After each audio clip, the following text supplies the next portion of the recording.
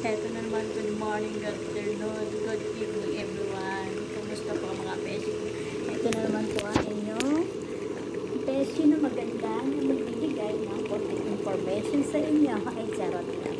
Ito po, nagluluto po ako ngayon. Anyway, hindi ko na minsan medyo hindi maganda yung aking mood today because medyo nagka, hindi kami nagkaintindihan ng amo kong babae. Medyo bin, pinalikuran ko na lang kasi eh, kumbaga nakakapuno din. Kahit anong haba ng PC ko talaga minsan nawawala ako sa concentration talaga kapag ako'y nasusobra kumbaga bigyan din naman ng aral hindi lahat ng panahon eh sila yung amo. Aba eh matuto naman din sila ng respeto at gumalang din kung ano yung karapatan namin. So eto nag-prepare na ako. Pero naano ko na nalaga ako na nagluluto ako ng naglalaga ako ng aming hapunan na banak. Banak ano po yung anak ng bangus? Tawag ko dito anak ng bangus. Kasi di ba di ba para siyang bangus. Kasi anak anak siya ng bangus. Banak ang tawag sa amin I don't know what called is uh, the any specific name of bangus ay banak. So heto naman nag ako ng macaroni. Macaroni. Nakapag-boil na po ako ng uh, meat. Ano siya? Minced meat. Nilagyan ko siya ng nilaga ko muna yung minced meat. Tapos nilagyan ko siya pagkalaga drain ko siya nilinis ko. Tapos pre-night ko ulit siya sa onion para mawala yung lansa yung baho. So pagkalagay ko na onion nilagay ko na tong minced meat. Tapos nilagyan ko na ng powder kunting hmm, powder uh, anong powder to? Garlic and onion powder also and then black pepper and then also kunting uh, tomato paste. So ganito po. Naayos ko na to. Ito i-spread out po natin siya sa ibabaw. Pero itong macaroni na ano ko na to nalaga ko na siya. So yan spread out po natin. Parang one fourth lang yata itong naluto kong ano uh, macaroni ay itong minced meat. Konti lang po. Kaya spread out po natin. Tapos magagawa pa po ako ng sauce nya teka lang po. Hindi pa ako nakagawa ng sauce. Ang gagamitin kong sauce ito po ito call this one is bechamel. So meron naman po dito na powder wait lang po ha? Wait lang. Powder.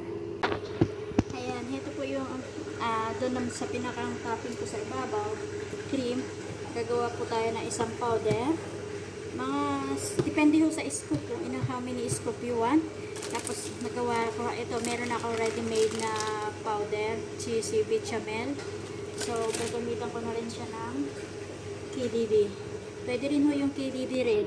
Depende ho pwede rin yung harina. Gagawa na lang ho kayo ng sarili nyo pwede na rin ho yun.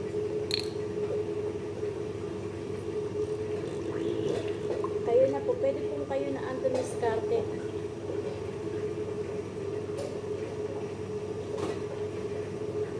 depende po sa inyo kung ano yung gusto nyo so tapos imimix nyo lang po yun. Pero kailangan nyo rin ng water para mag-hit pagkatapos na-mix nyo po pwede rin nyo tapos ipapainitan nyo para 3 4 ako marami kasi masarap. Eh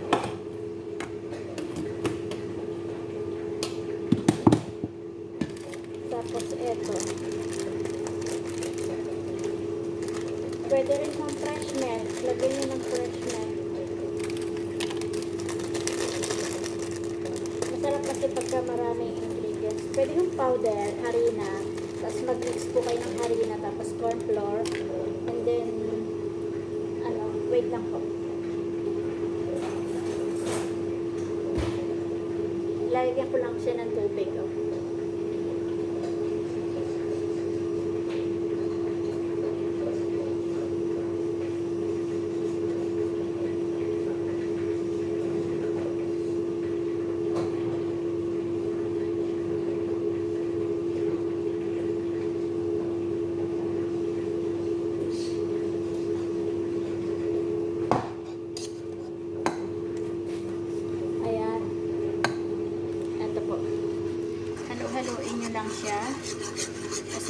Ito pa yung ano, kailangan mix well para mawala yung mga buo-buo niya. Teka lang, hindi ako mapaghalo. Kasi po, paiinitin pa natin to. Ay. Paiinitin po natin.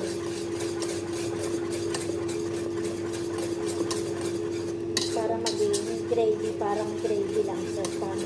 Tapos yun ang ipinaka-tap natin po sa ibabaw.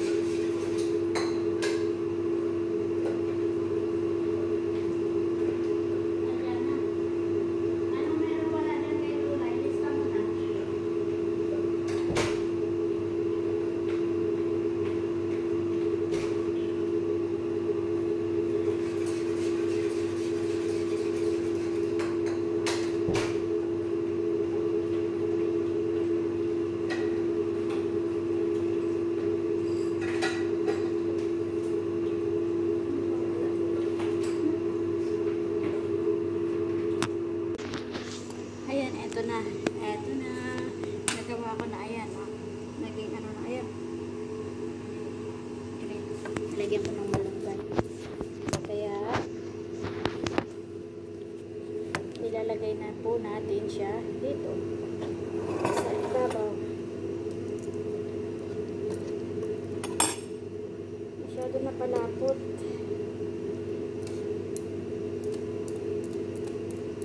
Sumobra ko sa lapot.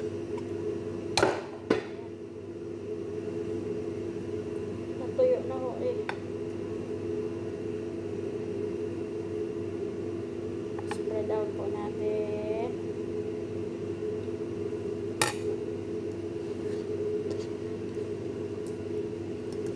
Sumobra ko sa lapot eh. Dami kasi akong ginagawa kaya nakalimutan ko na siya. Spread out nyo na lang po slowly. So, para hindi siya kumalat sa ibabaw.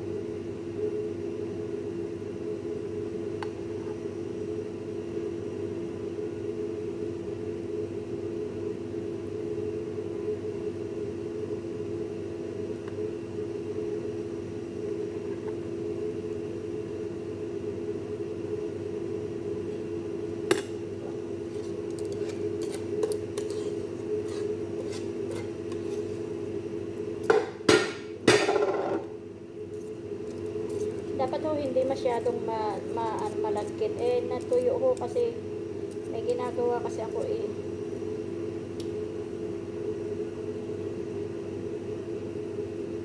Dapat po soap ng konti.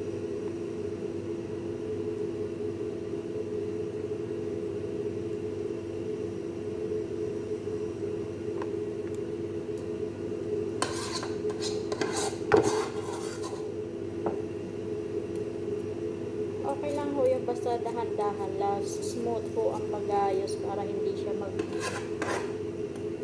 para hindi siya kumalat. matakon, matakpan niya yung ano sa ilalim.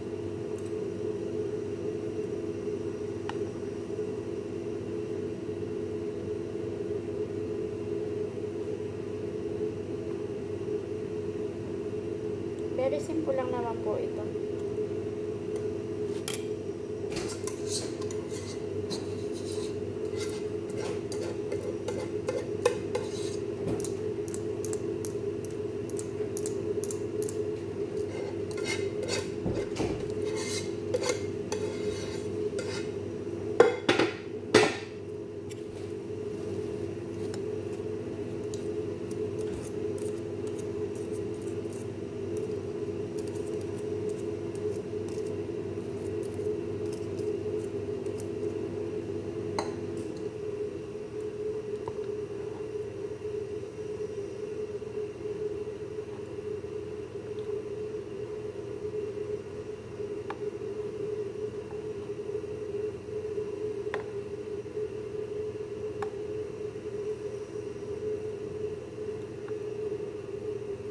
Ayan.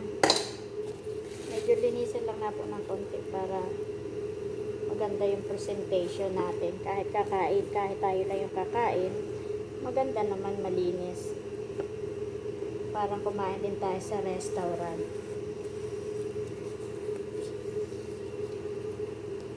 Ayan. See? Hadjaran! I-open na natin siya. I-open ko na po siya. Open ko na siya.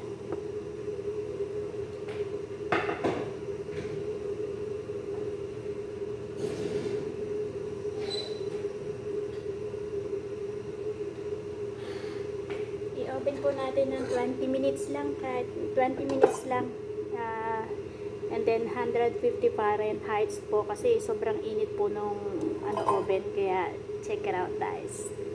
Love you. Thanks for watching. Please don't forget to click the bell button so you can and also you can click the icon they have three icons so you can click the all so you can update it any videos that I have here. Thanks for watching. Love you guys. Sana may natutunan kahit sa simple lang